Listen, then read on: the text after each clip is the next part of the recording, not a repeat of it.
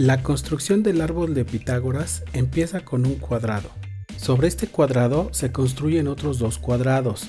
Cada uno de estos se reduce de tamaño a través de un factor lineal de raíz cuadrada de 2 sobre 2. Este procedimiento se puede repetir tantas veces como se quiera, obteniendo así un fractal conocido como árbol de Pitágoras. El árbol de Pitágoras es un plano fractal construido a partir de cuadrados inventado por el profesor Albert Bosman en 1942.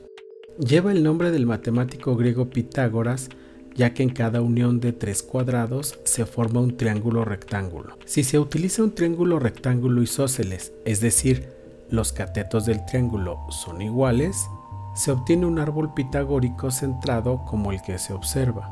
Si el triángulo rectángulo no es isósceles, por tanto es un árbol pitagórico descentrado como el que se observa.